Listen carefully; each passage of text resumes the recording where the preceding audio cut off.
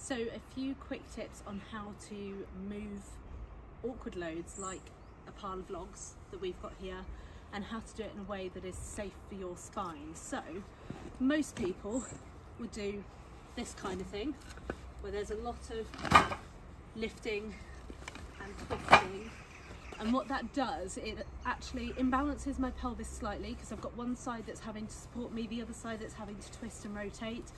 Um, and if you're anything like me and you already suffer with a, a bit of a niggle on one side that's likely to aggravate it. When you then couple in that we're bending forwards from the knees that can really stress the lower back as well. So what you really want to do is bend the knees and think about shifting your weight through your knees instead of twisting through the lower back. It's not because the lower back it's dangerous to twist our lower back in any way, but this way you can cope with doing an activity that you maybe don't do a lot of without aggravating your back. And it's normally doing a completely different activity to what you would normally do that does aggravate your back. So what I'm going to do is think about where I'm moving the logs to, making sure that I've got a nice stable base so I'm not positioned on the logs here I've got my feet flat on the ground.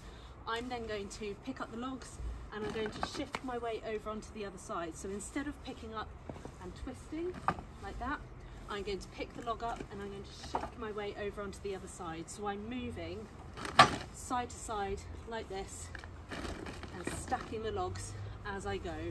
So really using my knees, using my gluteal muscles, so the big strong muscles in your bum, and you're getting them to do the work instead of your back.